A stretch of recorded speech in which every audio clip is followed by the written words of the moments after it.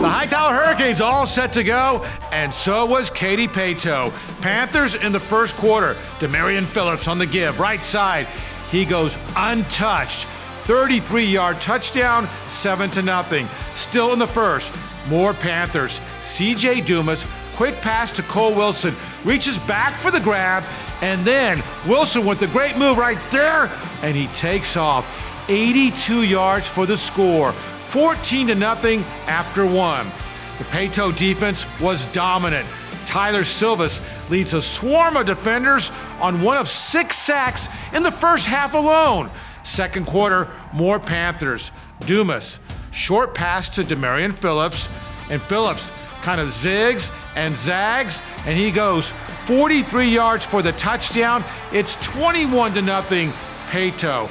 Still in the second quarter, more Panthers. Dumas rolls left, throws back to Josh Prieto, and he's gone. 27 yard touchdown, 28 0 at the half.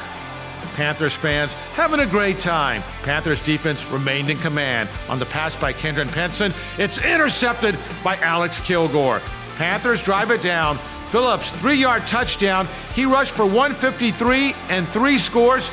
Dumas had four touchdown passes, 55 7 the final. Paetow now 8 0 on the season.